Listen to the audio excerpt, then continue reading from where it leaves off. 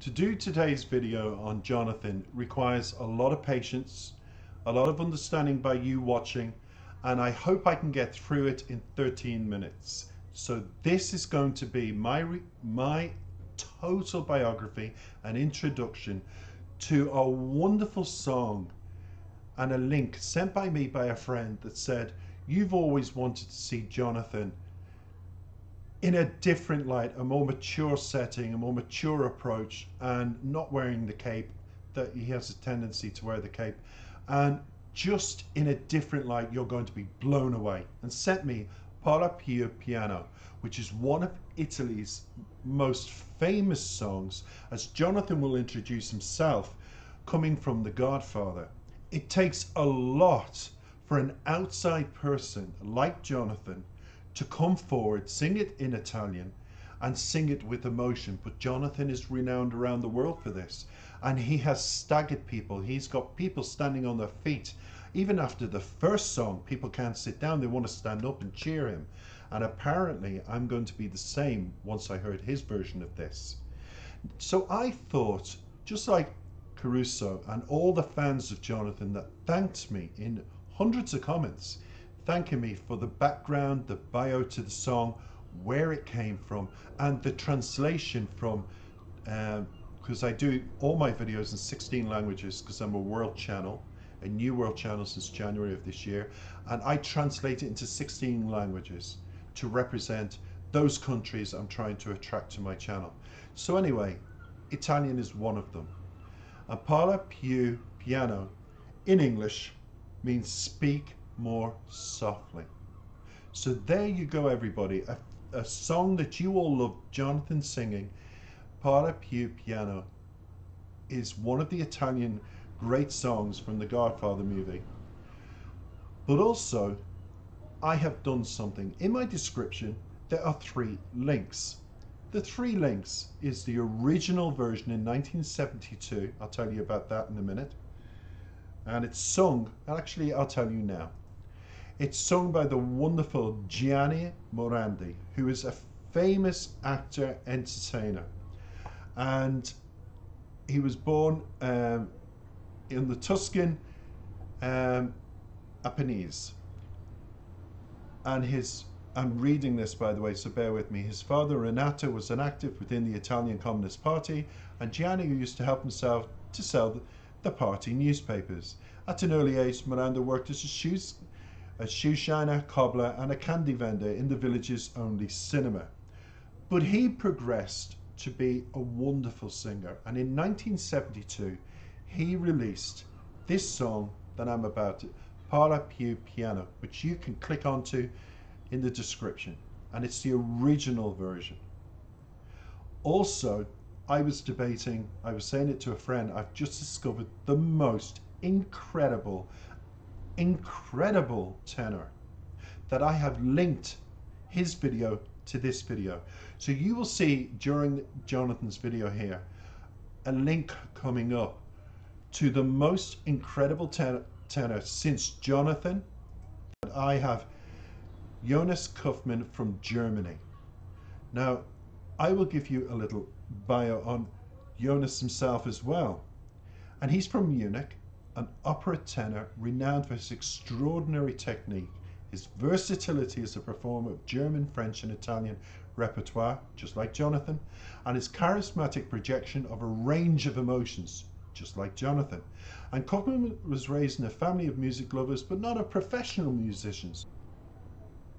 I just thought I'd defend Jonathan. Take it away, Jonathan. Parla più piano. Which means Altogether now, you've learnt one thing today. Speak more softly in English. Talk to you after.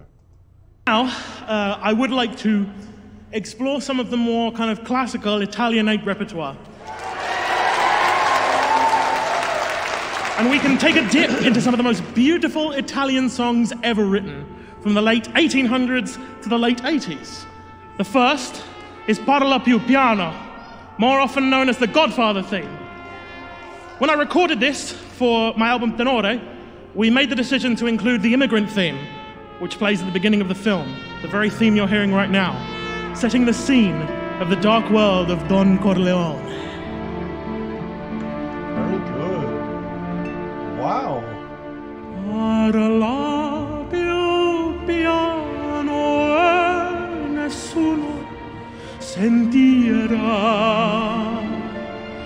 Nostro amore lo viviamo io e te. Nessuno sa la verità neppure il cielo che ci guarda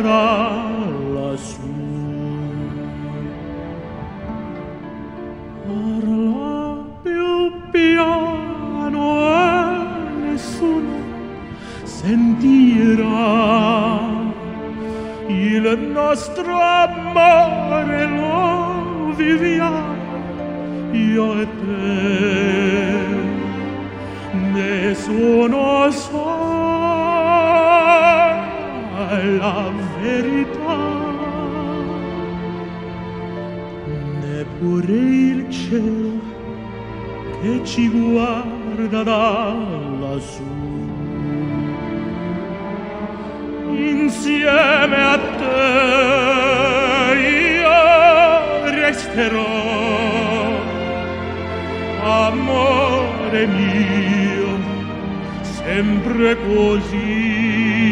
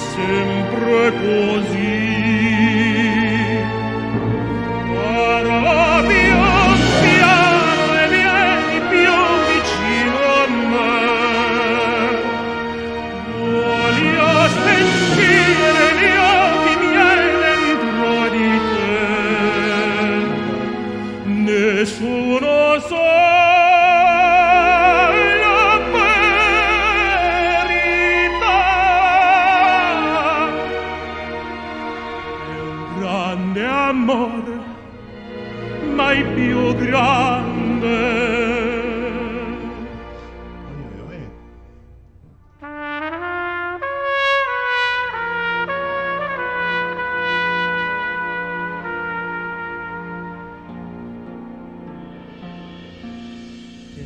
grande amore, mai più grande. Eh.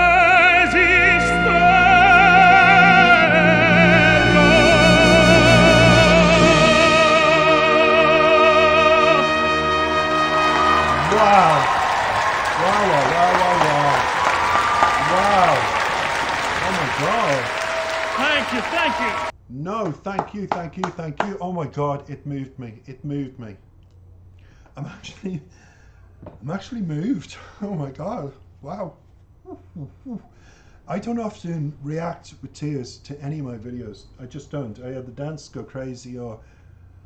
But I have to say, you can see the circles around my eyes from the tiredness. I'm doing so much study on top of different things over the last couple of months. But anyway,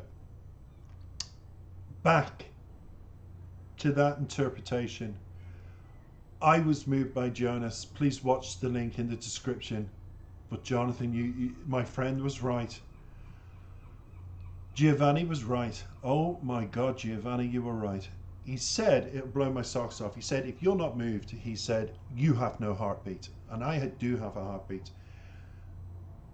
I am in shock.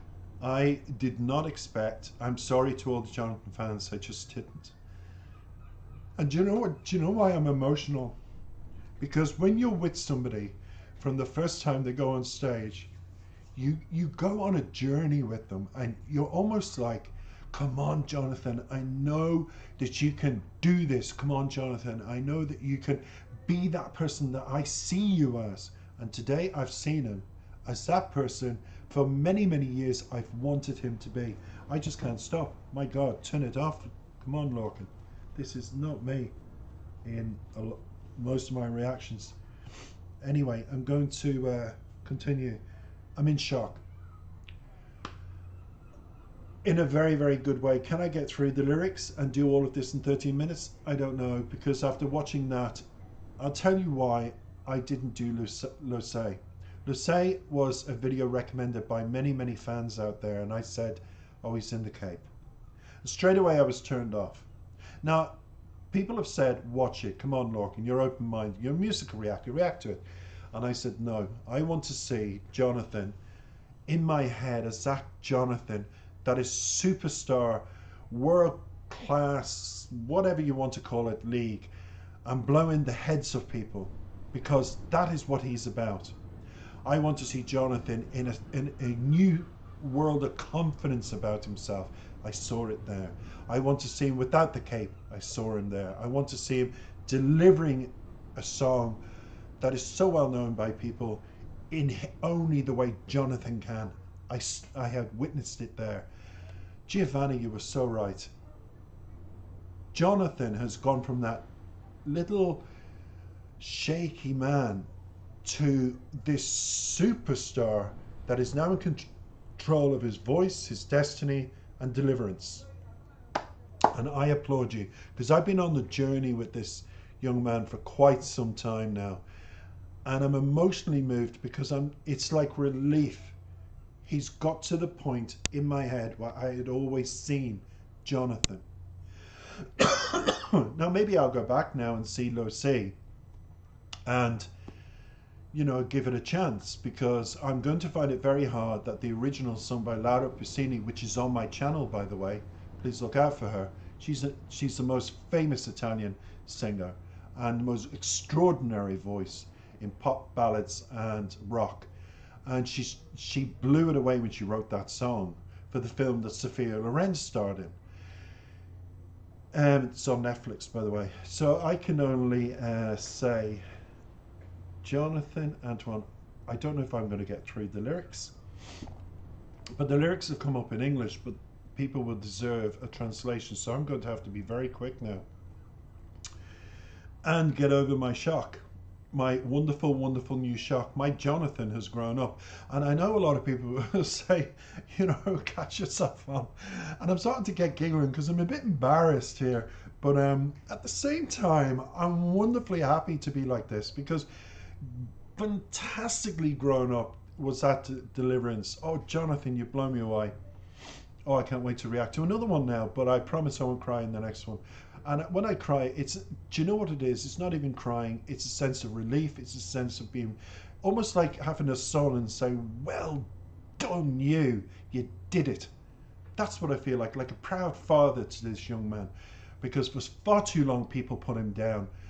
You people that put him down, go stuff your words up your and I'm sorry to be like this because too many people have put him in a box and went well how dare you? Because millions of people now like me will go whoa you just smacked them in the mouth with the biggest fist ever Jonathan with that deliverance that stage presence and that confidence that I, I've been waiting for. Well done.